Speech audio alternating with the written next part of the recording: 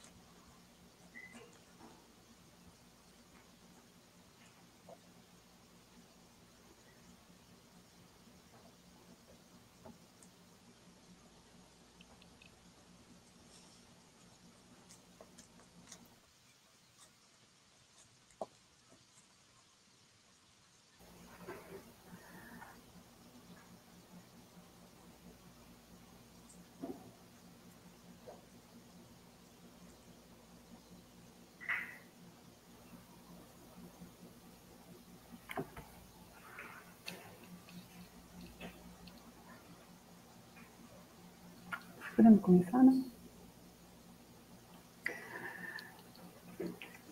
Bom, vamos dar início então à apresentação da palestra de hoje.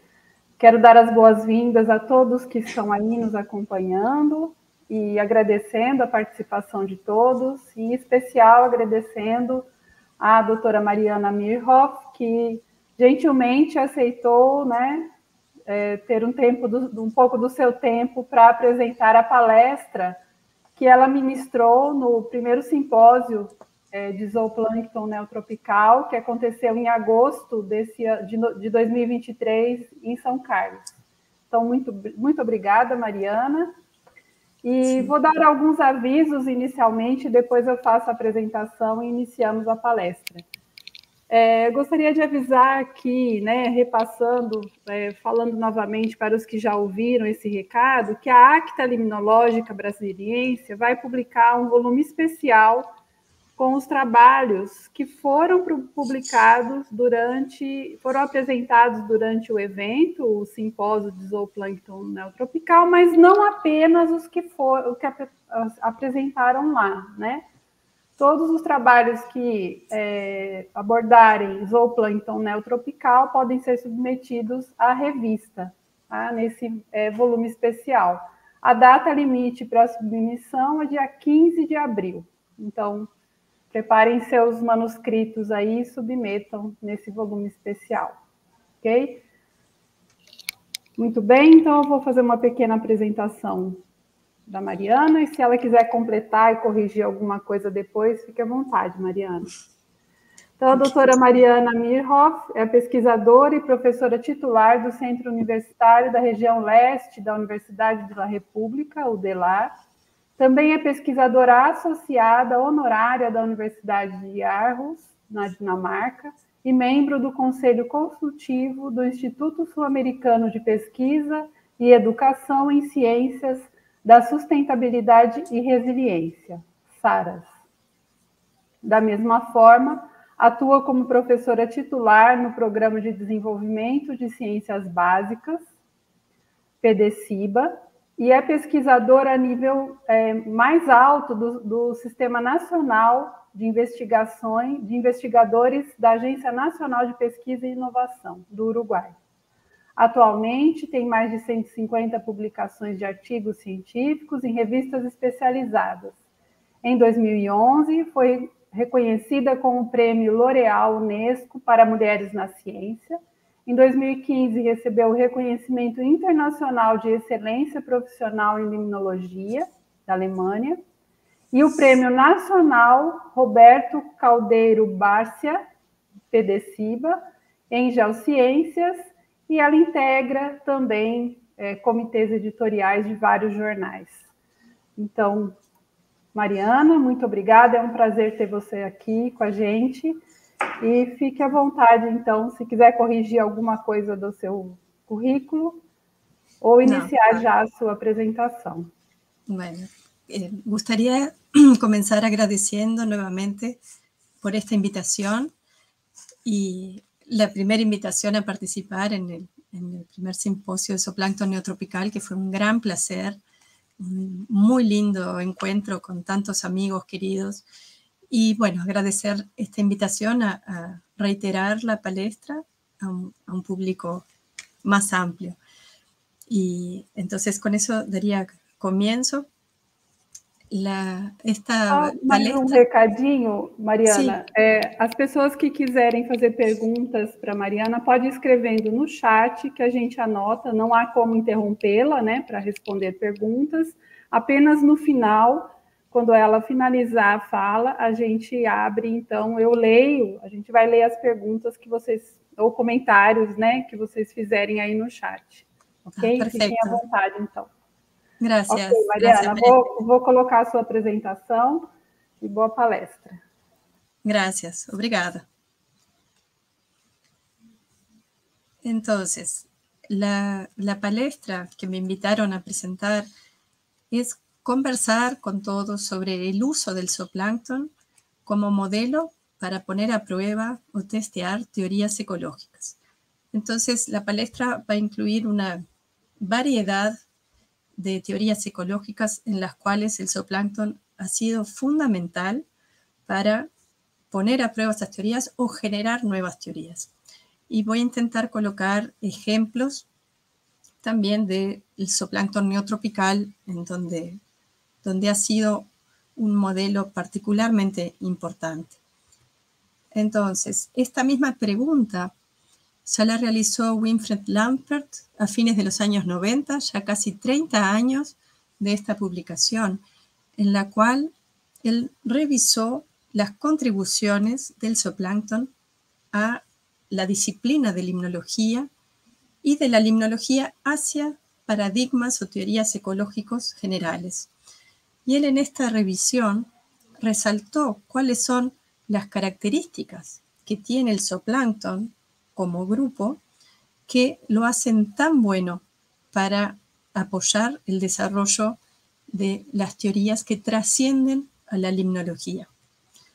Dentro de esas características que hacen al zooplancton tan buen modelo de estudio, comenzamos considerando la enorme diversidad filogenética que tiene este grupo, que comprende desde organismos protistas unicelulares a organismos pluricelulares del metazooplancton que incluyen desde rotíferos, microcrustáceos a larvas de moluscos, de peces y de insectos.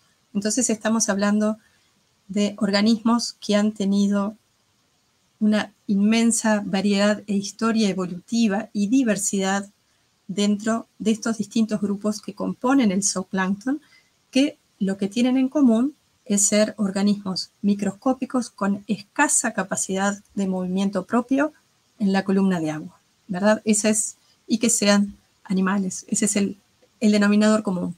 Pero entonces dentro de ese gran paraguas que es el zooplancton, tenemos estas enormes eh, variaciones en sus características. Otra, además de la diversidad filogenética, es la gran diversidad de estrategias alimentarias, una gran variedad de dietas. Hay organismos herbívoros, carnívoros, omnívoros, detritívoros. Los mecanismos de obtención del alimento también son muy variados, filtradores, suspensívoros, parásitos, simbiontes. Sus morfologías para obtener los cambios morfológicos para obtener el alimento también son muy notables. Hay organismos con apéndices filtradores, otros que tienen apéndices prensiles, dentición, generación de, mocos que engloba a los ítems que van a ser sus presas o su alimento. Otra característica muy notable para gran diversidad de teorías ecológicas es la variación en los tamaños corporales, los tamaños del cuerpo, que cubren cinco órdenes de magnitud entre los organismos más pequeños y los más grandes que califican como zooplancton. Y a su vez, las diversas estrategias reproductivas. Existen organismos de reproducción asexuada, partenogénesis cíclica, reproducción sexual eh, permanente o opcional de acuerdo a características ambientales y ciclos de vida que van desde días hasta varios meses. Eso también permite, entonces, en escalas de tiempo cortas desde el punto de vista de los investigadores, tener muchas generaciones de organismos con los cuales podemos evaluar cambios ambientales, por ejemplo, a lo largo de distintas generaciones, podemos evaluar cambios evolutivos y podemos ver microevolución, por ejemplo, en organismos del zooplancton, que en otro tipo de organismos no podríamos por el, el tiempo involucrado. Además de estas características biológicas, el zooplancton constituye un componente central en las tramas tróficas acuáticas. ¿sí? Por su rol como alimento de peces y de macroinvertebrados carnívoros, conecta a los productores primarios como el fitoplancton o el perifitón con los niveles tróficos superiores, aquí los peces piscívoros en este ejemplo.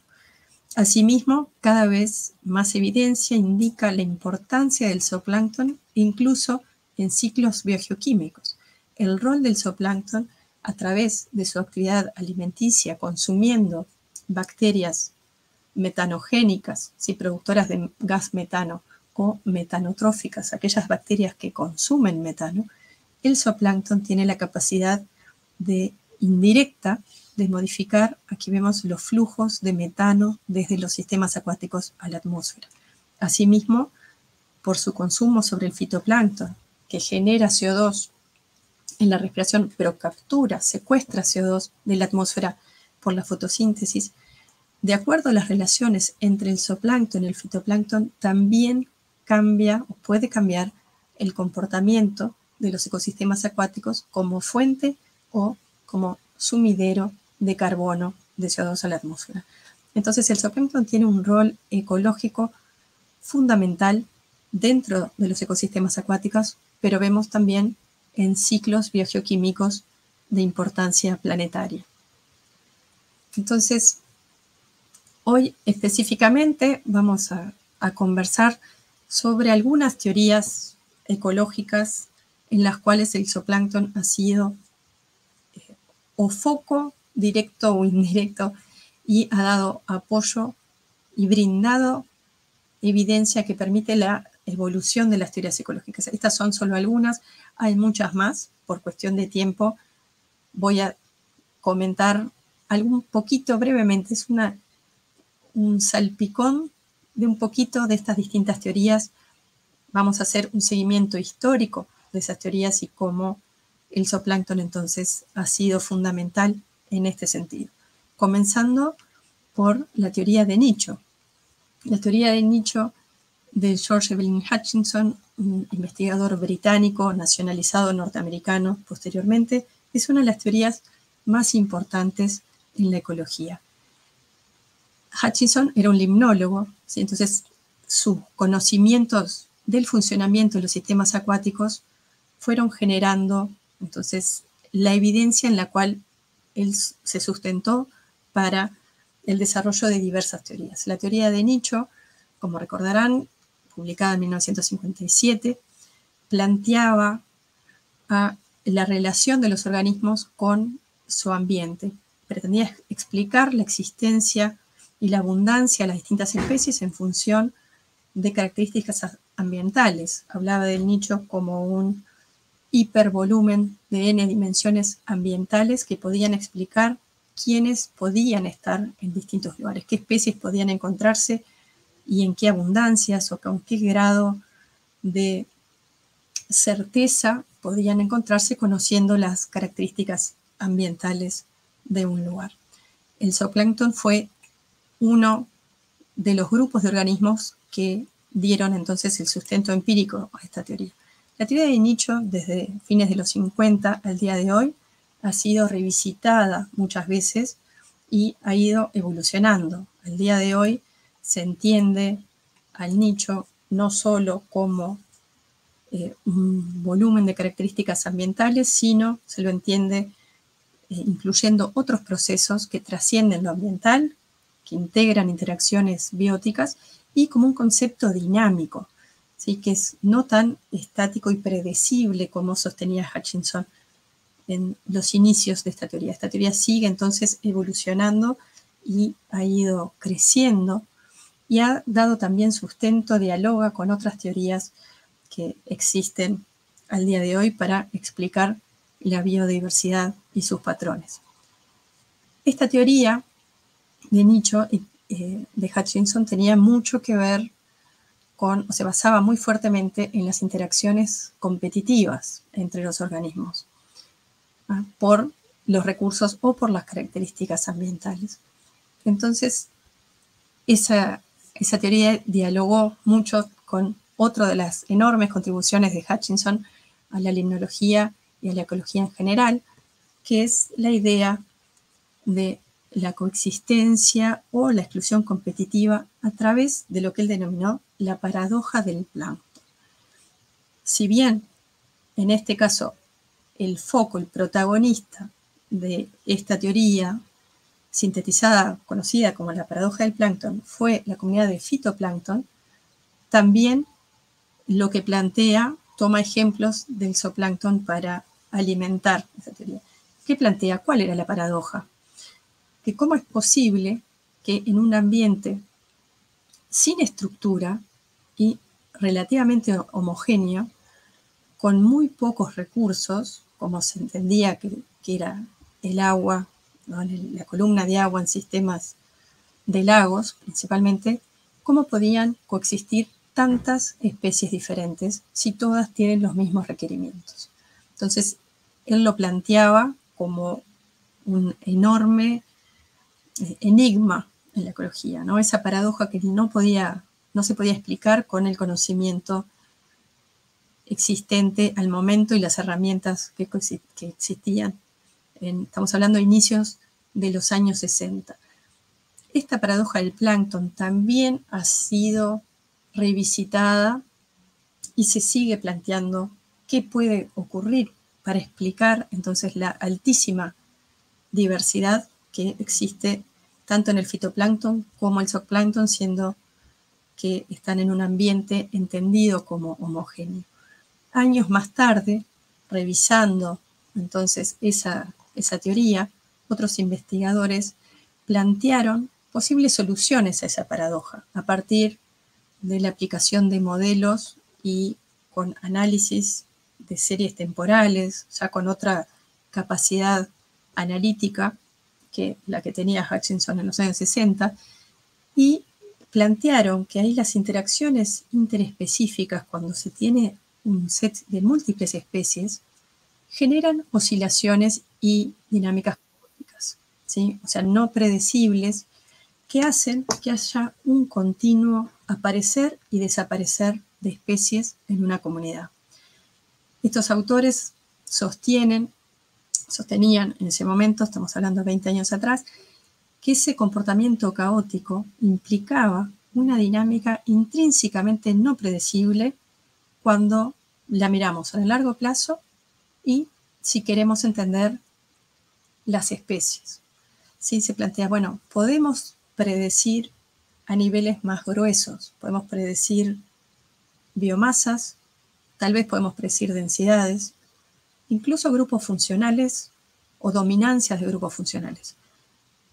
Pero no, eh, de acuerdo a este planteo, no podemos predecir diversidad. ¿Quiénes son las especies que a largo plazo van a estar y por qué?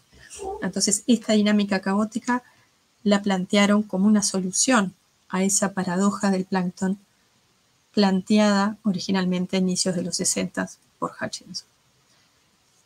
Y un aspecto muy interesante de ese artículo de la paradoja del plancton es que la única mención a la depredación como posible explicación de lo que ocurre con el zooplancton es este parrafito aquí que les muestro, en el cual comenta que en conversaciones con otro enorme ecólogo, MacArthur, que tal vez la depredación podría facilitar la coexistencia en dos especies preses en algunos casos. Decía, bueno, esto puede ser. Es la única mención de un trabajo muy largo y complejo a la depredación como posible fuerza estructuradora de la diversidad planctónica. Y esto es muy interesante porque la depredación genera el sostén de una serie de teorías, de las cuales voy a mencionar algunas poquitas, que son fundamentales y que empiezan a tomar cada vez más fuerza y que desplazan el paradigma de que entendía el fitoplancton y el zooplancton como básicamente comunidades explicadas por los recursos que había en el ambiente acuático, ¿sí? por los nutrientes y por la cantidad de luz. Es un paradigma muy fuerte y muy sólido de la limnología que tiene razones históricas. La limnología se generó como disciplina en el hemisferio norte, en zonas templados frías, de lagos profundos y con bajas cargas de nutrientes. Y ahí empezaron, con el correr de los años, a medida que otros tipos de sistemas comenzaron a estudiarse, se, se entendió la importancia de otras estructuraciones, otras fuerzas, entonces que desplazan esas ideas que están tan arraigadas e incluso que persisten de alguna manera hasta hoy.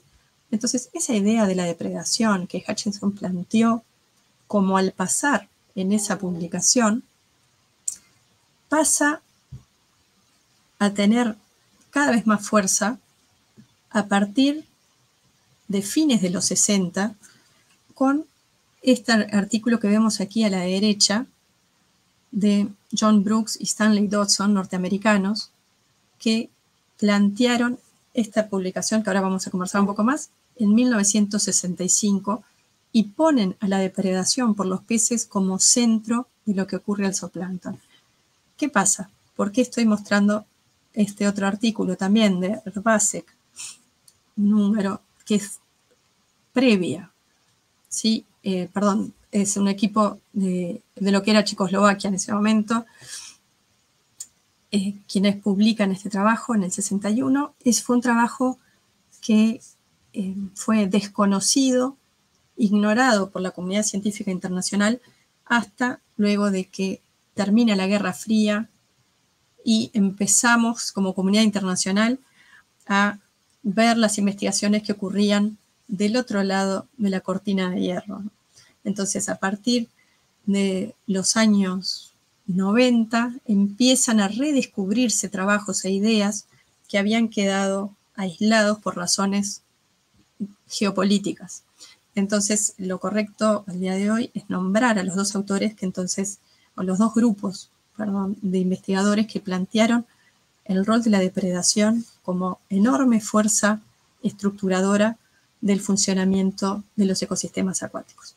Entonces, ¿qué pasa? Ahora vamos a ver cuáles son dentro de, esa, de la depredación como gran fuerza. Hay algunas características particulares del zooplancton que nos ayudan a explicar procesos y a ir entonces modificando y enriqueciendo la teoría a partir entonces de datos empíricos.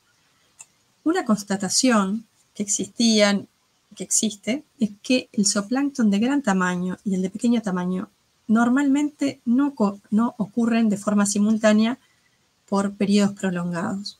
¿sí? En este ejemplo vemos a escala distintas especies del género Daphnia y la enorme variación en el tamaño corporal, desde esta pequeñita Daphnia reticulata hasta la especie más grande Daphnia, Daphnia magna, que puede tener varios milímetros de tamaño, y vemos su tasa de crecimiento aquí a la derecha en función de distintas concentraciones de alimento en el agua.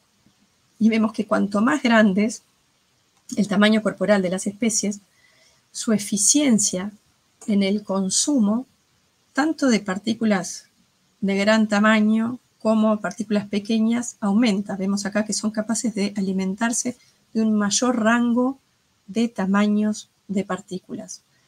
Entonces, las especies más grandes tienen mayor capacidad de sobrevivir en un ambiente con alimentos heterogéneos y por lo tanto debían ser mejores competidoras. Sin embargo, y por lo tanto desplazar a las pequeñas, de, pequeño tamaño.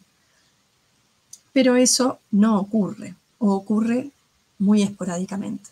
¿Y por qué? Y ahí es que viene el trabajo de los norteamericanos Brooks y Dawson, que lo desarrollaron en unos, en unos charcos artificiales, unos estanques, ponds, que había en su universidad, y notaron que aquí vemos en la figura de arriba la distribución de tallas y la frecuencia de ocurrencia de distintas especies del zooplancton.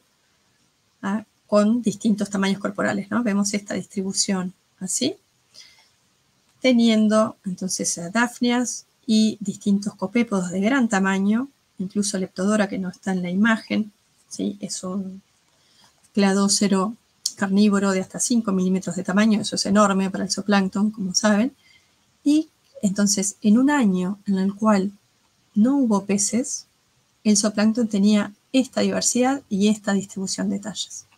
Años más tarde es introducida esta especie invasora Losa estivalis y hay un cambio notable en la distribución y diversidad de tallas, así como en la composición específica de la comunidad del zooplancton.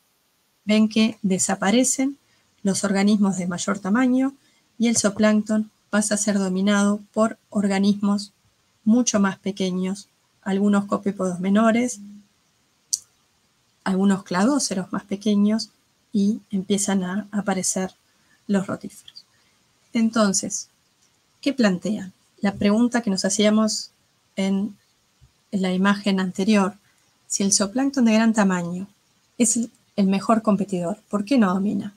Bueno, no domina en general porque los cladóceros, o sea, los organismos como las dafnias de gran tamaño, son los ítems alimenticios preferidos por los peces. La mayor parte de, las especies de peces son consumidores visuales. Además, seleccionan su presa por el tamaño y eso hace que las, los organismos más grandes, como los grandes cladóceros, son los que generan un mayor beneficio en términos energéticos con la menor inversión energética por parte de los peces. Son los preferidos. Entonces, la ocurrencia de peces genera entonces un cambio total en la composición y en las tallas del zooplancton con consecuencias sobre otros grupos. Y lo vamos a ver ahora. ¿Cuáles son las consecuencias? La más obvia, cuando tenemos un zooplancton dominado por especies o grupos funcionales, herbívoros, como el caso de los cladóceros, y algunos copépodos, esto afecta negativamente al fitoplancton y a las bacterias en términos de biomasa. Pero a su vez hay efectos indirectos positivos, como el aporte de nutrientes a partir de las heces, la excreción, los restos no ingeridos o no digeridos completamente, y hay, eso genera entonces distintas tasas de aporte de nutrientes según las tallas o los tamaños dominantes dentro del zoo. Acá hay efectos entonces indirectos que trascienden al efecto de la depredación en sí, pero que son parte de la ocurrencia de depredadores. ¿Y esto qué genera? En el fitoplancton y en bacterias, respuestas para evadir, para evitar o sobrevivir a la depredación. Entonces genera cambios en el tamaño de las presas, cambios en su sabor, generación de toxinas, cambios morfológicos como la generación de paredes más gruesas o mucílagos que impidan la digestión. Tal vez no impiden ser comidos, pero impiden ser digeridos por los organismos del zooplancton. Esto a su vez genera consecuencias negativas para el zooplancton, ya que también tiene que lograr superar esas barreras mecánicas, fisiológicas o bajos contenidos nutricionales que tienen algunos organismos del fitoplancton, como principalmente las cianobacterias. Entonces vemos que la depredación, que originalmente se la veía como una fuerza unidireccional, vemos que es bastante complejo y que puede disparar procesos evolutivos muy interesantes, tanto en las presas como en los depredadores. Hay una, una carrera de eh, lo que se llama la la reina roja, ¿no? una carrera evolutiva entre ambos grupos. Pero retomando un poco el efecto unidireccional de la depredación. Les contaba entonces cómo cuando empiezan a tomar fuerza esas ideas, sobre todo fines de los 60, que empieza a ser más conocido ese trabajo por los investigadores norteamericanos, se da sustento acuático a ideas que también se estaban simultáneamente generando en ecosistemas terrestres, que es la teoría de las cascadas tróficas.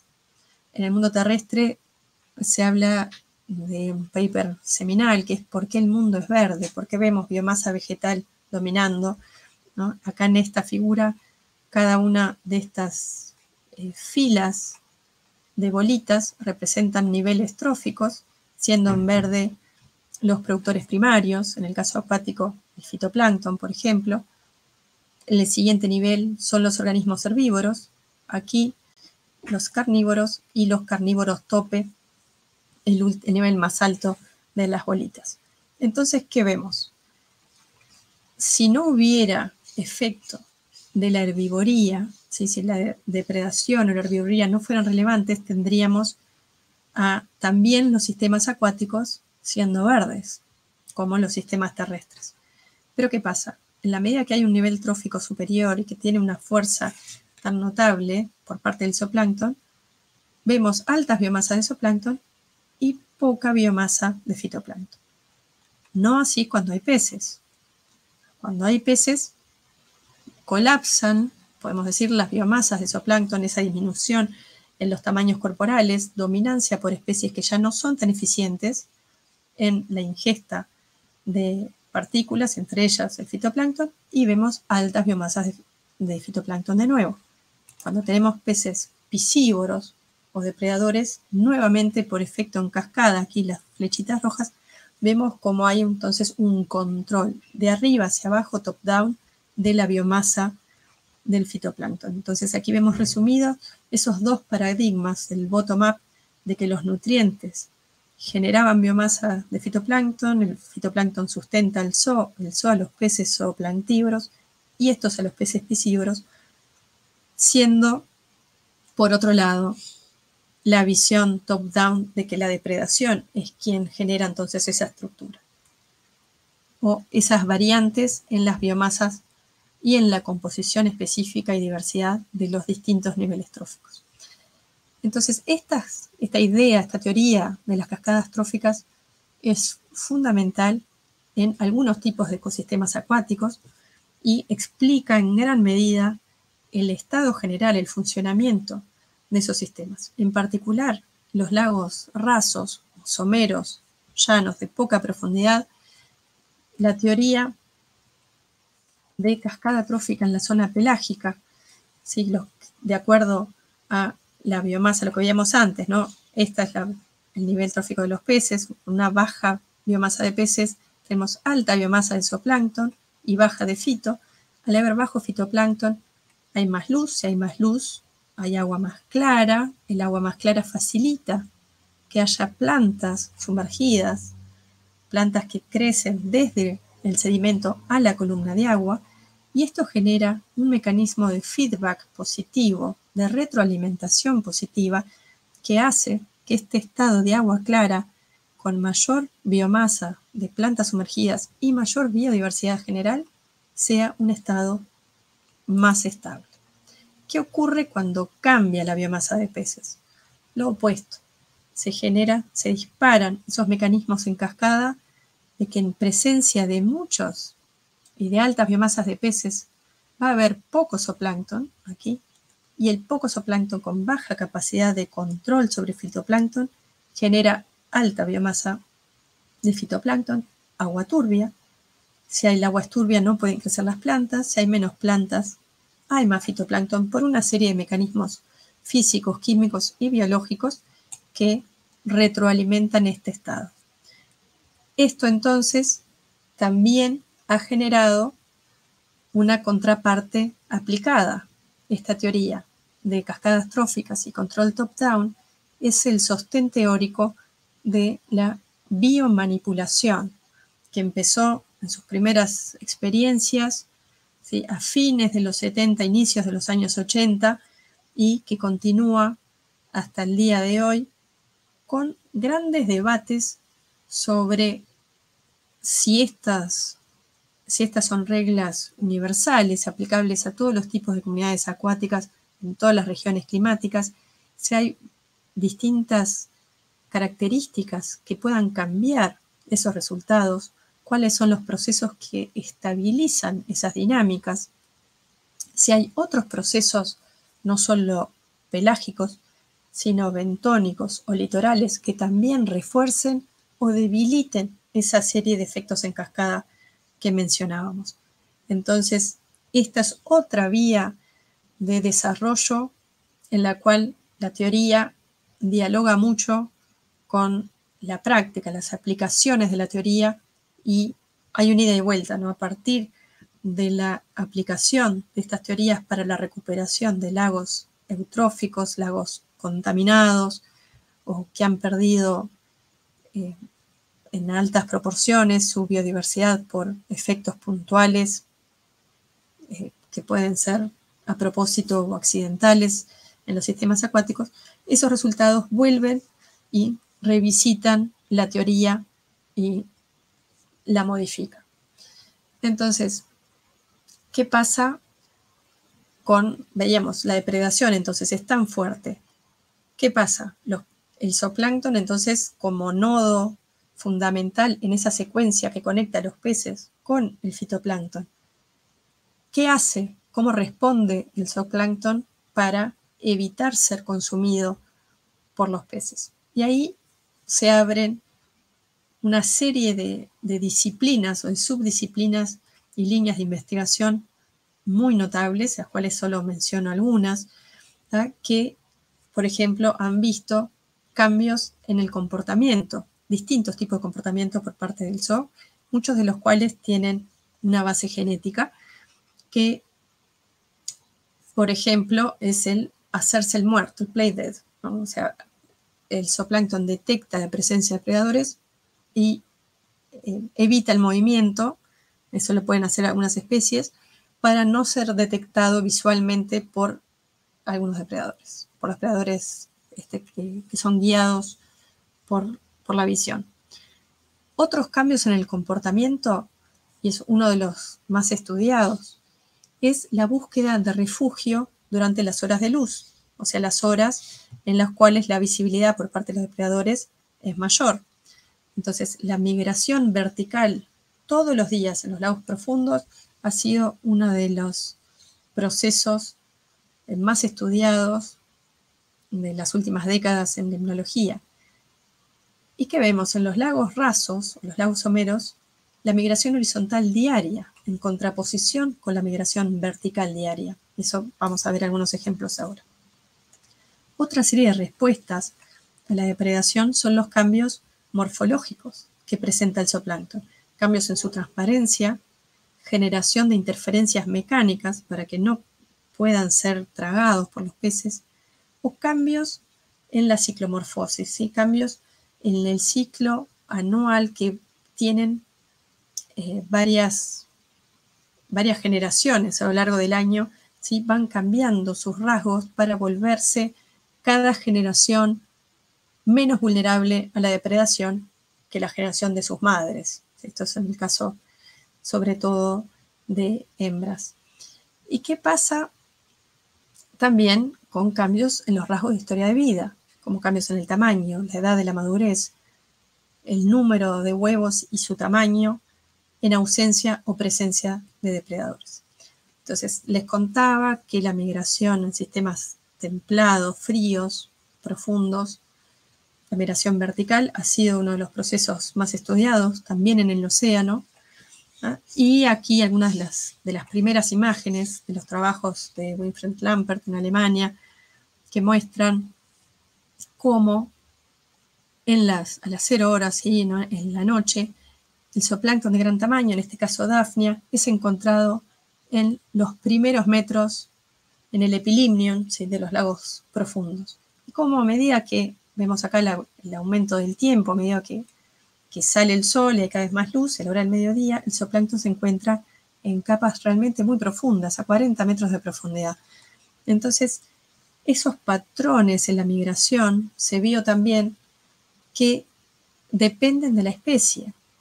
Ah, no todas las especies hacen lo mismo, no todas hacen el mismo patrón. ¿Y eso por qué? Se lo explicó como una respuesta a la distinta vulnerabilidad la depredación, ya que, como decíamos al inicio, el zooplancton incluye especies que tienen tamaños corporales muy diferentes, coloraciones diferentes, algunos, como el caso como de los copépodos, acarrean sus huevos y por lo tanto son más, eso les aumenta su volumen, son más visibles, son más pesadas y más vulnerables. Y las hembras eh, ovígeras de los copépodos también son muy vulnerables junto con los grandes cladóceros. Y como Aquí vemos los nauplios, hasta los nauplios migran, ¿no? siendo chiquitos, no siendo energéticamente muy rendidores, también tienen esos comportamientos que en su momento eh, se lo explicó como una respuesta a la luz.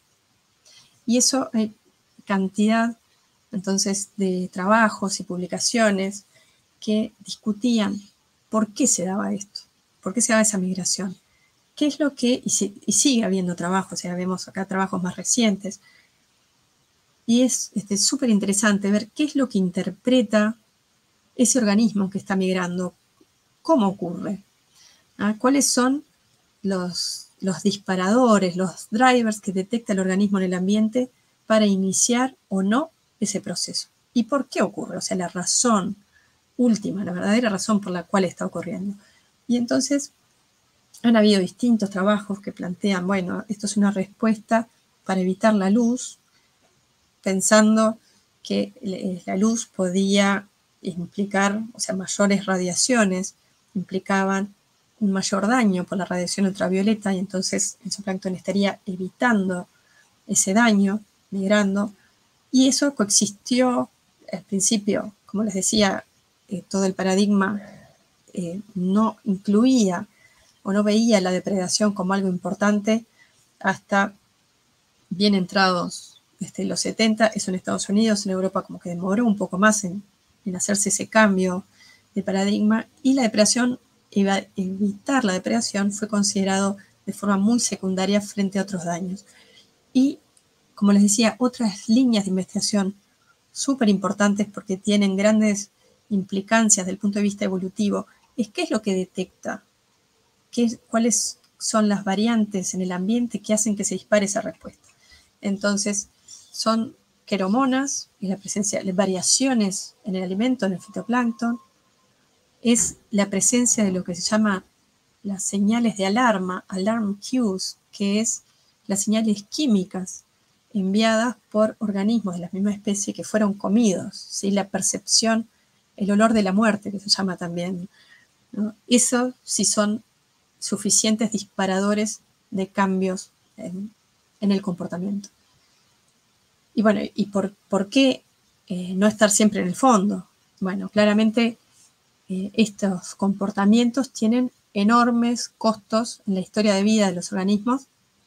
Implica, vemos acá, el porcentaje de distribución de Dafnias en función de la, de la profundidad, de nuevo, ¿no? Estos son lagos profundos, en función de la temperatura, y vemos Dafnias que estaban a esas distintas profundidades, cuánto tiempo lleva que sus huevos eclosionen y qué porcentaje de huevos son eh, eclosionados y son viables. Entonces lo que observan es que aquellos organismos, individuos que invierten más en migrar, en estar en el fondo, que son aguas más frías, más oscuras y con menos depredación, tienen un costo enorme a nivel reproductivo. Si tienen menos producción de huevos, el desarrollo es más lento y hay una menor eclosión de huevos viables. el costo es realmente muy alto para ese balance. Entonces, eso del punto de vista de las respuestas individuales. Pero bueno, ¿qué pasa en el ambiente? Ah, está también este, muy entendido que los ambientes homogéneos hacen que las interacciones tanto de competencia como de depredación terminen con la exclusión de algunas de las especies interactuantes. Sin embargo, ambientes espacialmente heterogéneos permiten o facilitan la coexistencia tanto entre especies competidoras como entre depredadores y presas. Y esto es una de, las evidencias también que ha dado sostén a nuevos paradigmas en ecología que luego vamos a ver trascienden la limnología y sustentan también ecología general. Entonces, a mediados de los años 80, este, uno de los trabajos más importantes en la ecología de lagos rasos plantea también en su discusión como al pasar, dice, bueno, es un trabajo de, Brian Moss y Timms, eh, quien fuera este, su colega y orientador en ese momento, que plantean en la discusión, bueno, no sabemos por qué los grazers, o sea, el zooplancton herbívoro, por qué son menos vulnerables a la depredación por parte de los peces en las zonas con macrófitas. Seguramente es que son menos accesibles. Eso es todo lo que discuten entonces en ese trabajo en el cual vieron que lagos en los cuales había plantas,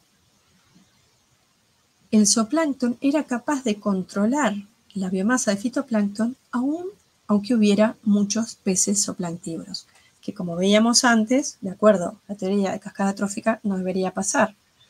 O sea, si hay muchos peces, hay poco zooplancton, si hay poco zooplancton, hay mucho fitoplancton. Y ellos notaron que no, que eso no siempre pasa en la medida, lo plantearon, bueno, en un lago que es como un humedal. ¿Por qué? Porque tenía mucha presencia de plantas acuáticas. Y plantearon entonces esa idea de que tal vez el acceso en las plantas era algo que lograba estabilizar esa relación. Y eso dio pie a lo que se llama la hipótesis del refugio, la hipótesis del refugio dado por plantas acuáticas y la migración horizontal, no vertical como veíamos en los lagos profundos, sino horizontal desde la zona de la columna de agua, zona pelágica, hacia las zonas litorales, donde están la mayor parte de las plantas acuáticas, a lo largo del día por parte del zooplancton herbívoro, que es el de mayor tamaño, o sea, el que puede controlar más el fito y el que es más vulnerable a la depredación. Entonces, veían que también realizando muestreos a distintas horas del día, cómo cambia la proporción y durante el día el zooplancton se iba hacia las plantas y en la noche volvía a la columna de agua, a la zona pelágica, para poder alimentarse del fitoplancton. Ya a comienzos de los años 2000, bueno, se revisa toda la evidencia, los costos, los beneficios de esa migración horizontal del zooplancton que era desconocida, por lo que les decía que la limnología empieza en sistemas profundos, y plantea entonces a principios de los 2000 este trabajo que se necesitan estudios rigurosos, sobre todo en zonas tropicales y subtropicales, que, son, que estaban muy poco estudiadas comparativamente respecto de los sistemas templados y templados fríos. Bueno, ahí se generaron eh, diversos trabajos que pusieron a prueba, testearon esa hipótesis para el zooplancton subtropical mediante dispositivos experimentales y con especies de plantas subtropicales y especies de dafnias subtropicales. Y allí se vio que las plantas no representan un refugio para el zooplancton como en zonas templadas, sino que son evitadas por el zooplancton. Cuando están solo en presencia, este es el dispositivo experimental, las dafnias puestas en el medio, cuando solo había plantas, se alejan de las plantas. ¿Qué pasa si son enfrentadas simultáneamente con plantas y con señales de alarma, que como les decía antes, son sustancias liberadas por organismos muertos de la misma especie? Ahí el rechazo que generan las plantas disminuye, pero siguen siendo más rechazadas la vegetación que la señal de muerte prevista por otro lado. Y particularmente las plantas flotantes, las plantas de origen tropical, son las más evitadas, de acuerdo con este experimento. Y estudios un poquito posteriores de campo mostraron comparativamente en una serie de lagos de sistemas templados fríos y lagos muy similares en cuanto a área, carga de nutrientes, características limnológicas generales, pero de climas subtropicales, donde se analizó el comportamiento del zooplancton, se vio que en la zona templada los patrones corresponden con la, la migración horizontal diaria que se había visto en los lagos europeos, en los cuales en la noche aumenta la densidad de escladóceros en las aguas abiertas, en la zona pelágica, mientras que durante el día están en plantas, sean plantas sumergidas o plantas flotantes, y de donde se van en la noche. Sin embargo, en sistemas subtropicales eso no pasa, sino que, por el contrario, aumentan las densidades en la noche en todas partes. Y eso dio que pensar que entonces, ¿dónde está el zooplancton durante el día? Y se hipotetizó que entonces, si no están ni en las plantas ni en aguas abiertas, es que deben estar sobre el fondo, y entonces en la noche suben a la superficie. O sea que en los lagos, incluso siendo rasos, siendo llanos, de zonas subtropicales, ahí es más frecuente la migración vertical, al igual que en lagos profundos. Eso también fue testeado en forma experimental, exponiendo a dafnias a sedimento, dejándolas que pudieran migrar horizontalmente o verticalmente en zonas mediterráneas que funcionan en algunos aspectos de forma muy parecida a sistemas tropicales y subtropicales, y ahí se verificó entonces que si bien el sedimento le genera rechazo, no así cuando hay cues de alarma. Entonces, estos zooplancton de sistemas cálidos van, migran de forma vertical. Ahí cambió entonces ese casi paradigma de los lagos llanos o rasos que no se puede generalizar a todas las zonas climáticas. Bueno, esas, esas teorías tienen mucho que ver con otro set enorme de teorías ecológicas y ya diría de teorías generales, no solo ecológicas, porque también son utilizadas para explicar procesos sociales y procesos económicos, que es la teoría de las transiciones críticas y de los equilibrios o estados alternativos, también conocida como lagos estables, pero bueno, la estabilidad de esos estados está en cuestión. Si es algo que, que está generando, que genera siempre mucho debate, cuáles son las escalas temporales en las cuales podemos hablar de que los ecosistemas presentan estados estables o otro tipo de sistemas. Pero bueno, en definitiva, ¿qué plantea esta teoría? que los ecosistemas pueden presentar un estado que ante cambio en las condiciones ambientales es modificado en forma lineal, predecible, o en algunas situaciones ya ese cambio no es lineal, sino que encontramos una zona de transición y un nuevo estado que aparece en esas condiciones ambientales más extremas. Pero ocurre también, y esto es lo que plantea esta teoría, que los cambios en, por ejemplo, características ambientales en esas condiciones, pueden generar un quiebre en ese estado del sistema que hace que se transforme de forma radical y abrupta y pase a otro estado, pudiendo, ante igualdad de condiciones ambientales, un ecosistema encontrarse en este estado o en este otro aquí. Esos son los estados entonces o equilibrios alternativos. ¿Por qué alternativos? Porque en la misma condición pueden estar los dos. Esto es el fenómeno, además, de histéresis, que implica que, para volver este ecosistema, cuando cambia esta condición, se revierte, no va a volver para atrás así, sino que tiene que ir mucho más atrás en, las condiciones ambientales, por ejemplo, para poder generarse ese otro cambio. Ese fenómeno de histéresis o estos quiebres, estos cambios abruptos, en algunas condiciones conocidos como tipping points, cuando generan cambios que son acelerados por procesos internos, ¿sí? por feedbacks positivos internos que hacen que se acelere ese cambio y que entonces sea cada vez más difícil o incluso irreversible volver al estado original. Estas son líneas de altísimo interés y mucha investigación actualmente en el contexto de cambio climático y otros este, cambios, de cambios globales en general. Otro campo teórico eh, muy importante es el de las early warning signals o señales de alerta temprana. ¿Cómo podemos hacer para darnos cuenta que un ecosistema está cerca de este punto de quiebre antes de que ocurra? ¿Ah? ¿Podemos saberlo? ¿Podemos predecirlo? ¿Podemos evitarlo? Esas son algunas de las preguntas que tienen entonces que ver con este marco teórico.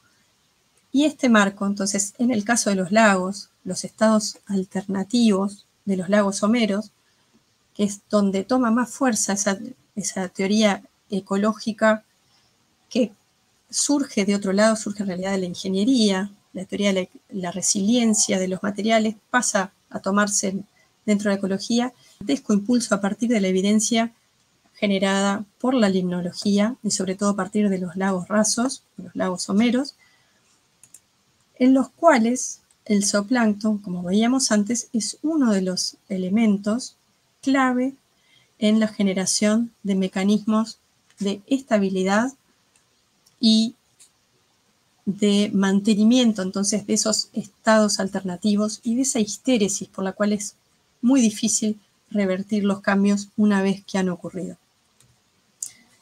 Esto entonces, acá vemos otra, un esquema que sintetiza distintas interacciones señaladas con un más cuando son positivas, negativas por un menos, donde se ve, haciendo el seguimiento de los distintos procesos, se ven distintos feedbacks o retroalimentaciones que hacen que estos estados se autoperpetúen. Por eso se habla de que son estables, aunque eso, como les decía, está en gran discusión. Y como vemos, el zooplancton tiene muchísimo que ver en esa estabilidad y esos cambios de los sistemas.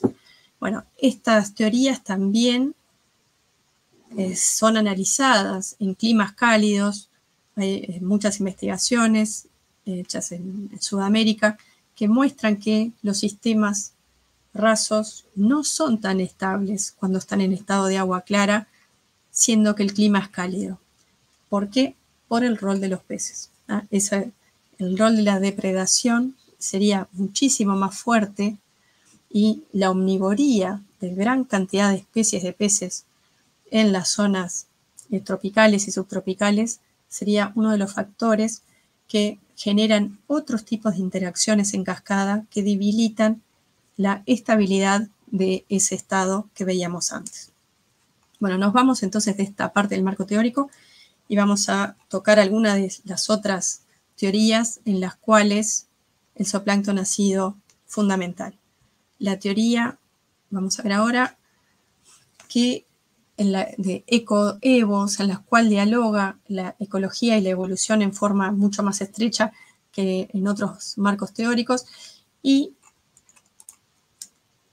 eh, que se nutre en gran medida de una de las características del zooplancton, el zooplancton y en particular Daphnias, eh, como género, es una de las protagonistas de estas líneas de investigación por esa capacidad de generar clones ¿sí?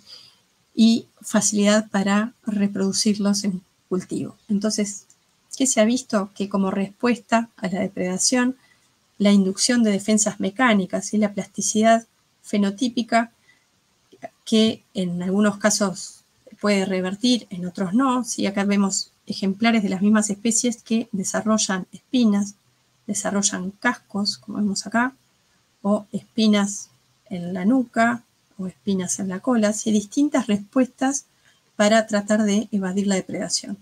Muy interesantemente se ha visto que distintos clones, incluso de la misma especie, tienen set de respuestas diferentes a las mismas señales por parte de los peces. O sea, hay una eh, enorme variabilidad incluso a nivel de clones de la misma especie y esto también ha abierto o expandido todo lo que es el campo de estudios evolutivos y microevolutivos usando y aprovechando esas características del zooplancton. Nuevamente, al igual que como veíamos en los cambios en el comportamiento, la capacidad de tener esa plasticidad también tiene costos eh, muy importantes a nivel energético, a nivel material, a nivel sensorial, en fin, hay distintos costos que tienen los organismos por mantener esa capacidad a nivel individual y a nivel poblacional incluso.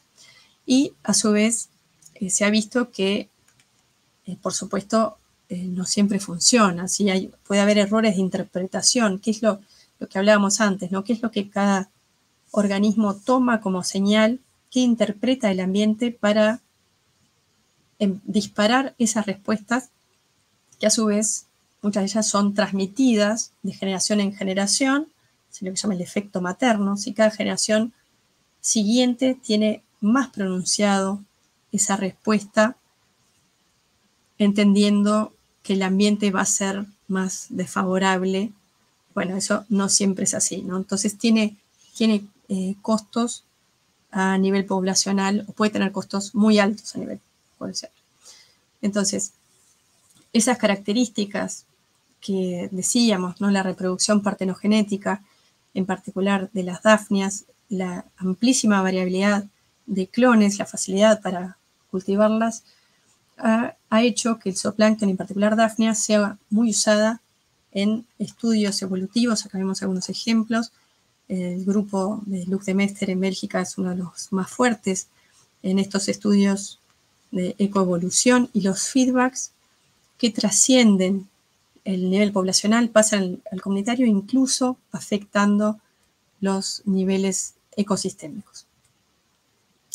Otra de las, de las teorías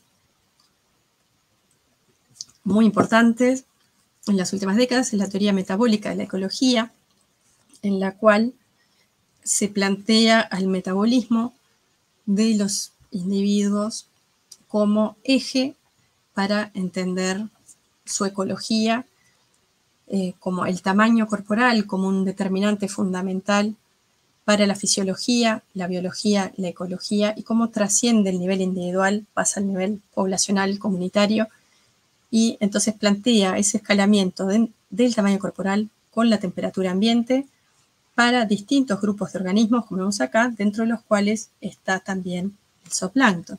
Entonces, esta teoría que sintetiza una serie de teorías previas, también permite o es muy, muy relevante en el contexto del cambio climático, del cambio en la temperatura ambiente a partir de los cambios en el clima y permite entonces generar distintas predicciones de qué es lo que podría pasar con distintos componentes, incluso a nivel comunitario, como la riqueza de especies, la biomasa, la densidad, el tamaño corporal, a medida que vamos de temperaturas bajas a temperaturas altas. Es uno de los marcos teóricos que es usado entonces para generar eh, predicciones y, testearlas con distintas evidencia empírica. Entonces, en el caso del zooplancton, en este trabajo se analizó, estas son los, las respuestas teóricas esperables de acuerdo a la teoría metabólica y qué es lo que se ve con la evidencia empírica. En el caso, en este estudio, en estos análisis de gradientes, eh, gradientes latitudinales, esa fue sobre todo la base para estos datos empíricos, y se observa que hay una, un apoyo muy parcial a las predicciones generadas por la teoría metabólica, en el caso de la densidad se comprueba, en el caso del tamaño corporal, sí, bastante, no totalmente, y la evidencia no es suficiente o no apoya la predicción teórica en cuanto a riquezas y biomasas. ¿Qué pasa?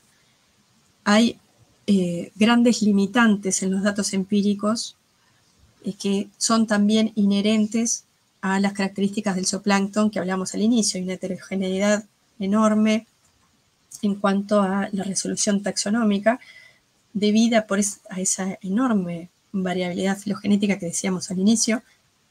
Eso hace muy difícil las comparaciones, pero sobre todo, y esto se está viendo con cada vez este, más trabajo, no solo usando el zooplancton, que eh, muchas veces los factores locales pueden tener más peso que incluso el efecto de la temperatura y por lo tanto enmascaran cuál es el efecto de la temperatura como principal driver. Eso eh, se está viendo este, con distintos trabajos y hay entonces como llamados a tratar de, separar en experimentos y en modelos la fuerza o la importancia relativa de la temperatura como un, como un driver este, principal respecto de otros procesos. Otra de las teorías o los marcos conceptuales más fuertes actualmente es el de la teoría de las metacomunidades, que eh, plantea una visión este, más completa de la dinámica de las comunidades porque nos da eh, un contexto espacial más amplio. Muchas de las teorías que veíamos previas, en el caso de los sistemas acuáticos, se aplican de la orilla hacia adentro, si toman al ecosistema acuático como relativamente aislado en el paisaje y explican lo que ocurre allí en base a procesos este, eh, espacialmente eh, limitados. ¿sí? Trata a los ecosistemas como estructuras cerradas o semicerradas. En la teoría de metacomunidades se sintetizan distintos marcos conceptuales. La teoría de nicho, esta es una de las, de las principales que alimenta la teoría de metacomunidades, y plantea entonces o explica o contribuye a explicar cómo distintas comunidades locales interactúan entre sí en un paisaje heterogéneo a través de distintos mecanismos de dispersión. En el caso del zooplancton, como comunidad utilizada para poner a prueba predicciones generadas por este marco teórico, se destacan muchísimo trabajos generados en Brasil por distintos grupos y, que están eh, usando beneficiándose de distintas características que tienen los sistemas, en el caso de los sistemas fluviales y las planicies de inundación, por ejemplo, estudiando cómo los pulsos de las, en las planicies de inundación conectan de forma intermitente a esas comunidades, en principio aisladas, y entonces cómo según el tamaño corporal, está, vemos acá el gradiente de tamaños corporales que integra el zooplancton, cómo eso afecta entonces la capacidad de dispersión y la importancia relativa de los factores locales con esos factores espaciales. Este es un campo entonces con cada vez más eh, sustento y con mucha investigación generada en América Latina. Entonces, eh, vemos entonces con este salpicón de distintas teorías. Bueno, la parte crítica, ¿cuáles son las limitaciones al uso del zooplancton para analizar teorías ecológicas? Eh, una de las principales es que tenemos y sabemos que tenemos una enorme incertidumbre en los datos. Las fuentes de variación son muy grandes. Es una comunidad que es habitual, tal vez más que, en otras comunidades biológicas, que haya errores de medición. Hay una baja resolución taxonómica en general.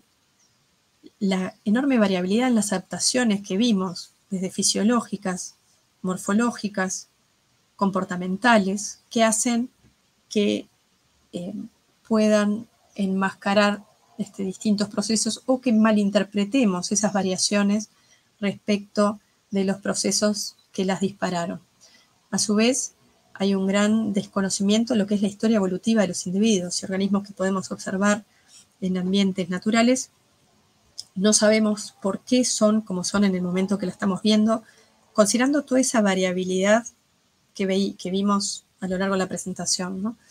Y entonces ese no saber la historia evolutiva de los individuos puede hacer que no entendamos distribuciones de tamaños, que no entendamos eh, características morfológicas o de estructuras de resistencia, como la capacidad de generar huevos de resistencia en condiciones ambientales desfavorables, que luego vuelven a la columna de agua, lo que se llama la resurrection ecology, ecología de la resurrección. Entonces, podemos encontrar fotos del momento que son muy difíciles de explicar y que hacen que de repente no encajen con las predicciones que estamos eh, queriendo evaluar. Y eso no quiere decir que, esa teoría esté mal en ese momento. Sí, son, son características entonces que son típicas, intrínsecas al zooplancton, que le agregan dificultad a la hora de compararlos con otras comunidades.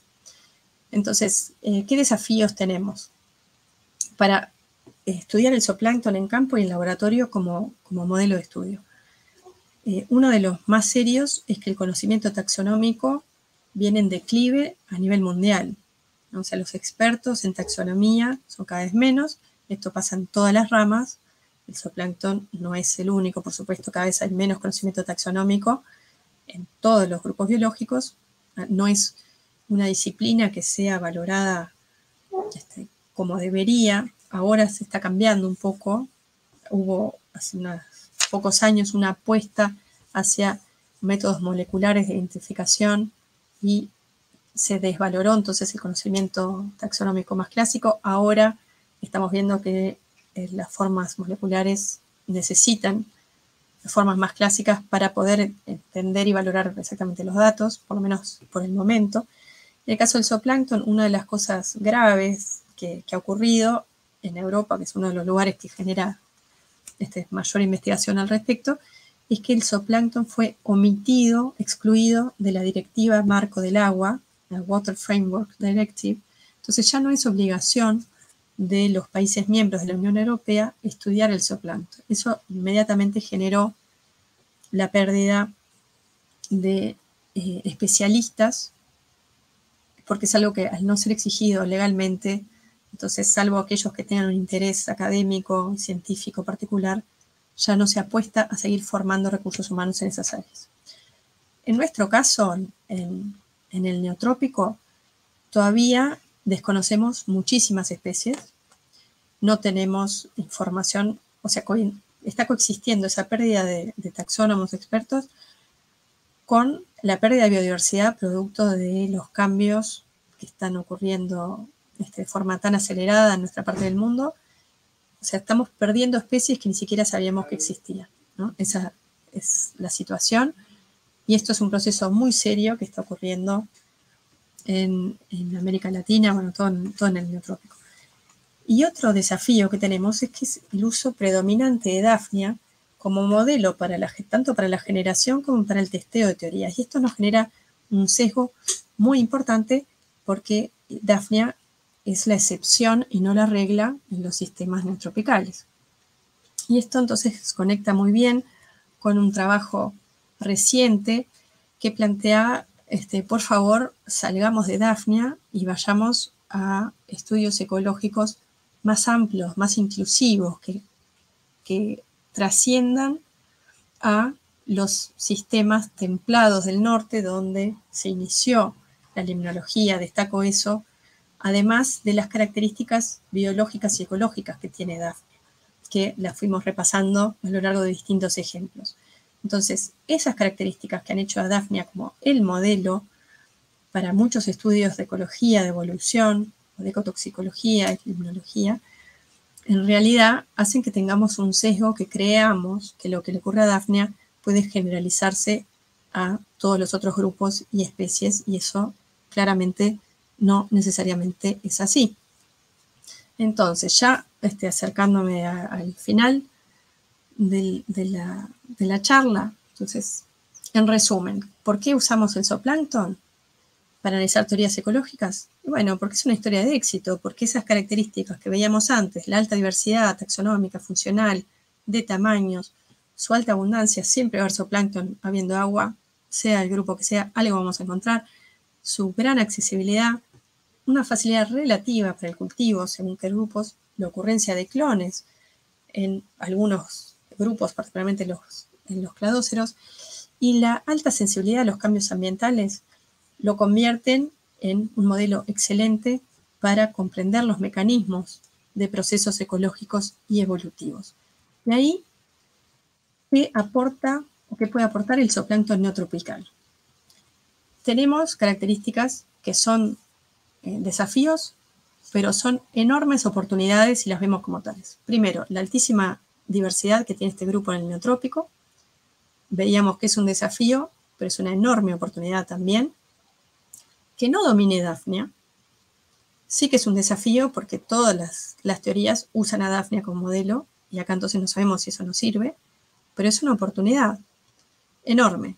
¿sí? Y como se mencionaba en ese paper de pocos meses atrás, es lo que hay que hacer. no es dejar de trabajar con Daphnia, pero abrir a los otros grupos que integran el zooplancton. ¿Qué pasa en el neotrópico? Es muy frecuente que coexista Daphnia, incluso, y el zooplancton, incluso zooplancton de gran tamaño, como en particular grupos de copépodos, con cianobacterias y cianobacterias tóxicas.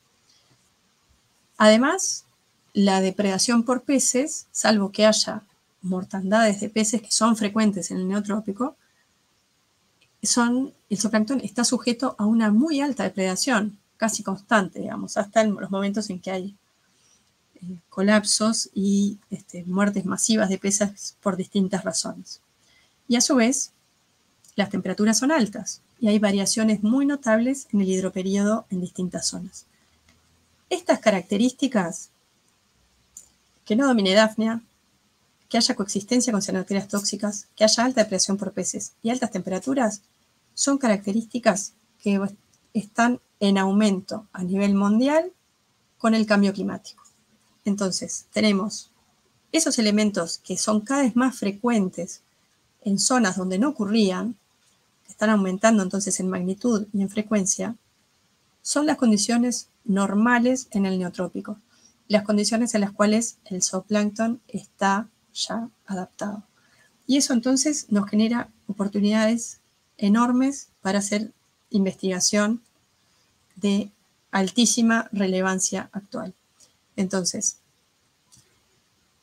vemos acá en esta imagen lo que es la idea de los límites planetarios.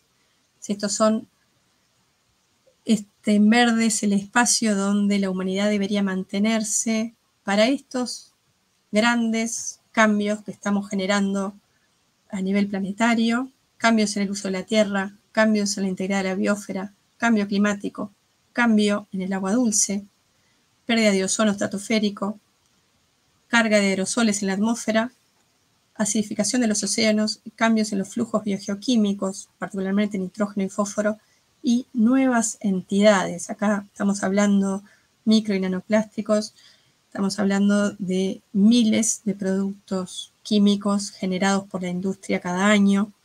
¿sí? Y esta idea plantea que si queríamos que el planeta funcione más o menos como viene hasta ahora, deberíamos quedarnos acá, en estas tasas de cambio en la zona verde.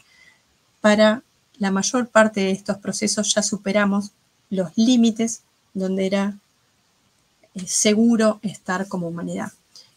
Para todos estos enormes desafíos podemos utilizar el zooplancton como modelo de estudio y generar información y conocimiento nuevo y preciso sobre riesgos de estos cambios eventualmente también para medidas de mitigación.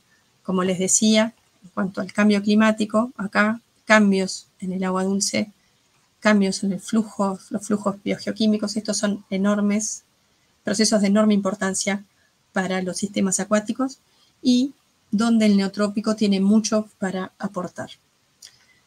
Acá vemos entonces algunos ejemplos. creo que, que entonces tenemos, eh, ante la urgencia de estos desafíos, tenemos que intentar trabajar tanto a nivel teórico como eh, pensando en las aplicaciones, pensando en cómo responden los ecosistemas a estos cambios globales y en cómo mitigar esos cambios. Y simultáneamente que analizamos eso, esos cambios, podemos estar aportando a la construcción y validación de distintas teorías ecológicas. Y estos son algunos ejemplos de eh, trabajos, este, muchos de ellos generados, no todos, pero muchos entonces que están recientes y generados en zonas subtropicales o en colaboración con investigadores del neotrópico.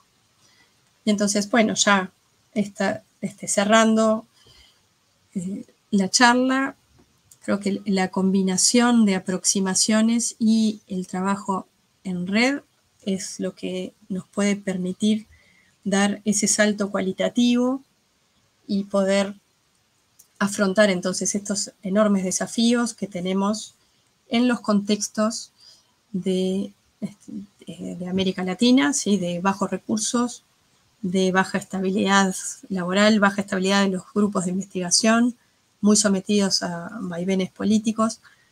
Y bueno, entonces apostar a la generación de redes, como es la red de zooplancton neotropical, justamente, y la aplicación de distintas aproximaciones de forma simultánea, no quedarnos con eh, solo aproximaciones teóricas, solo aproximaciones de campo o solo experimentos y combinar esas distintas eh, aproximaciones y, formas de generar conocimiento para contribuir entonces a saltar esa brecha en el conocimiento de nuestros sistemas y en el funcionamiento de los sistemas en general y poder contribuir a soluciones también. Bueno, entonces nuevamente les agradezco a todos por su atención y bueno, abrimos el espacio de preguntas, si las hubo, o de comentarios. Muchas gracias.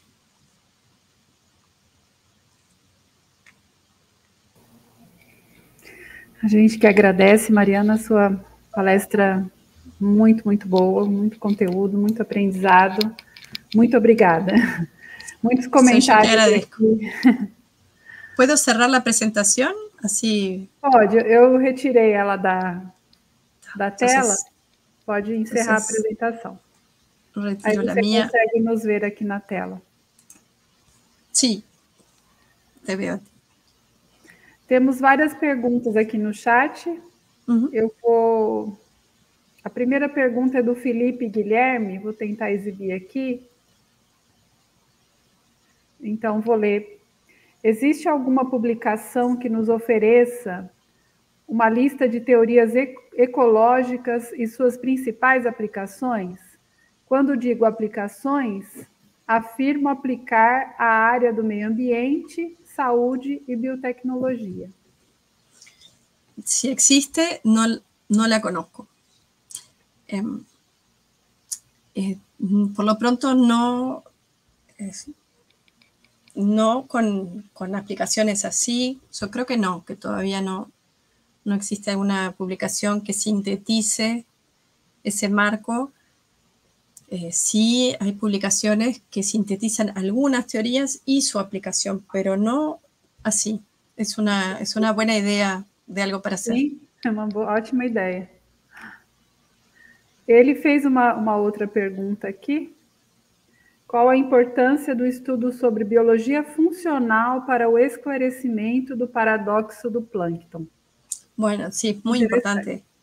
Sí, este, en, no, no me metí en biología funcional por un tema de tiempo, pero eh, cada vez eh, tiene más fuerza ¿sí? los estudios este, a nivel funcional y, creo que sí, que, que también, eh, además de aporte a, otros marcos conceptuales, también aportan a la paradoja del plancton. Creo que sí.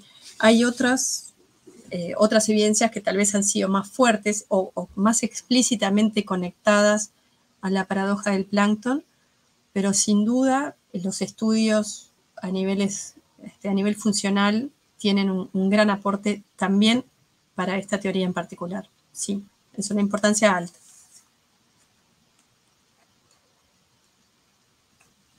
No te escucho. Pronto.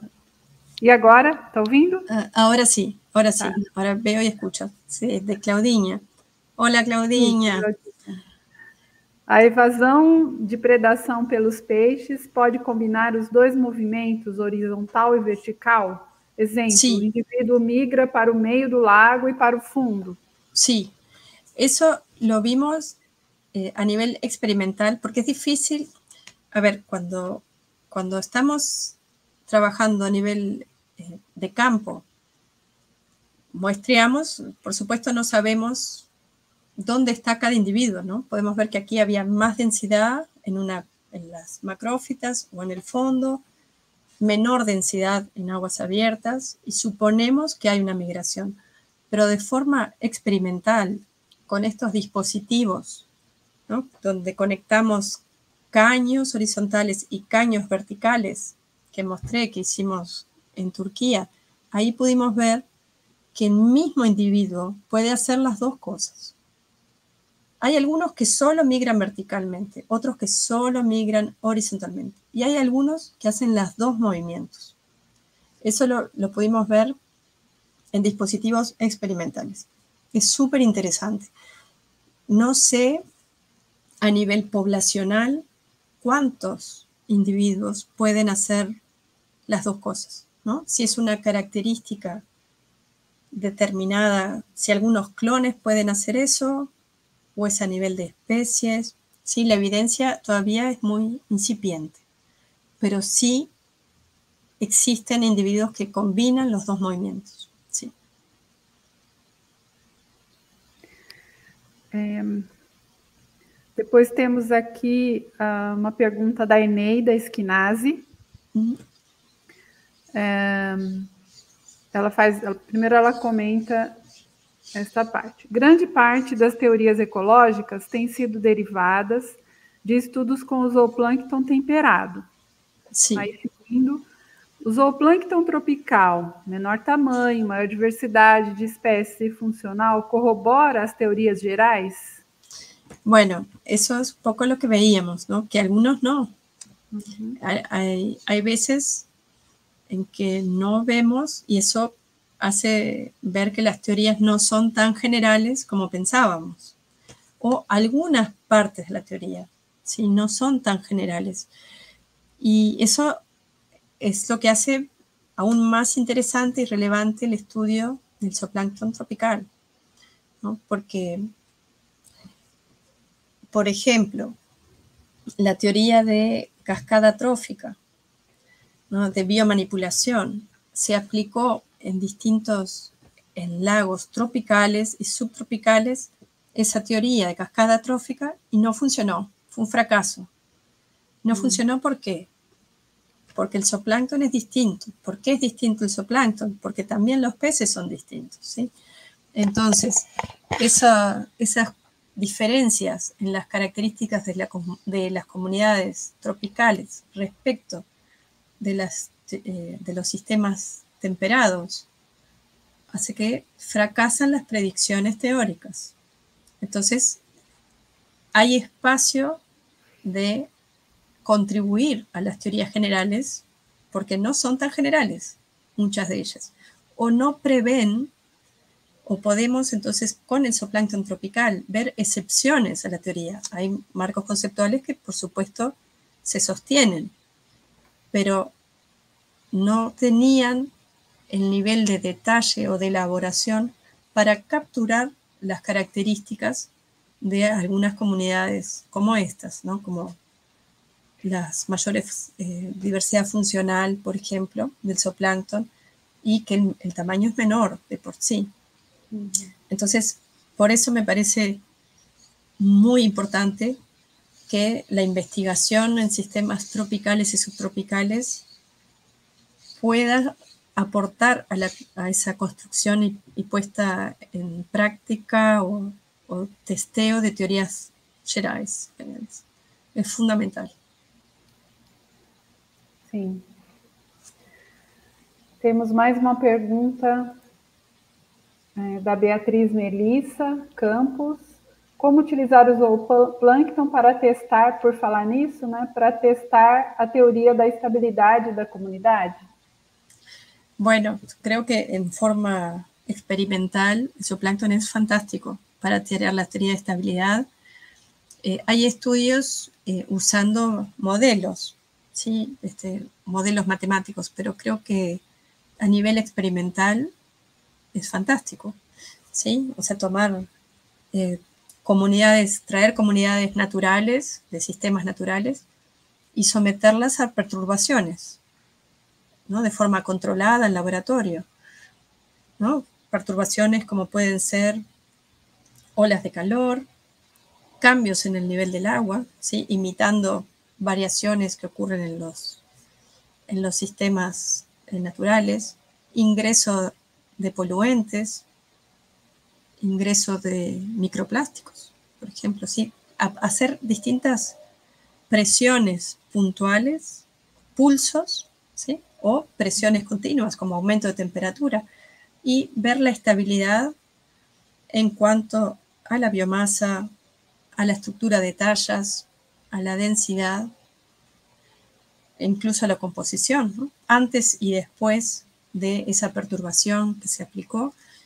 Y una, lo lindo, una de las cosas lindas del zooplancton, que podemos mantenerlo por distintas generaciones. Si elegimos organismos de tasas altas, entonces podemos ver la estabilidad de la comunidad incluso a lo largo de varias generaciones. ¿Sí? Entonces, a nivel experimental, yo creo que es fabuloso el zooplancton para testear la teoría de estabilidad y eh, con los aspectos de resiliencia, de recuperación eh, frente a disturbios y luego eso cómo traslada a otros procesos. Sí, fantástico. Agora temos alguns comentários. Esse do, do Felipe. A cada dia que passa, sei que estou em uma das áreas mais importantes. Parabéns, Mariana. Obrigada, Felipe. Olá, Maria Florência. Mandou uma mensagem para você também. Graças. Graças, Flor. Não vou ler porque meu espanhol é bem arcaico, bem ruim. Tenho medo de. Dice que quedan, quedan muitas perguntas para resolver. Sim. Sim. Ah, deixa eu ver se tem mais perguntas aqui no chat. Tô, muitas pessoas agradecendo, dizendo que a palestra foi muito boa, agradecendo as respostas, e acho que é isso.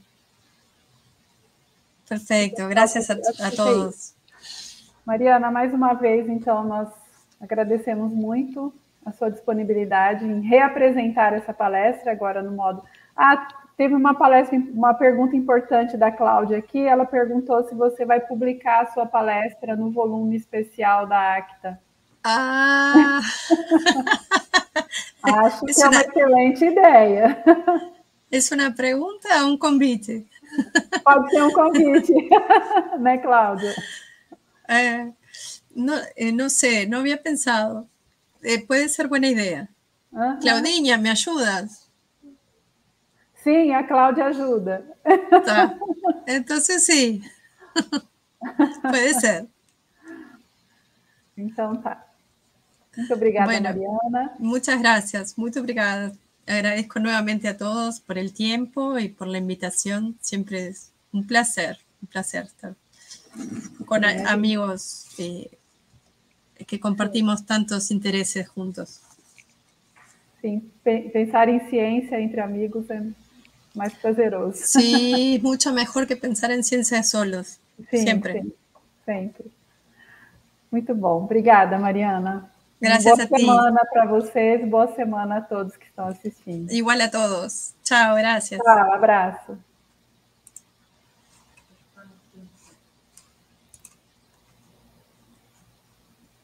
Pronto, podemos conversar agora?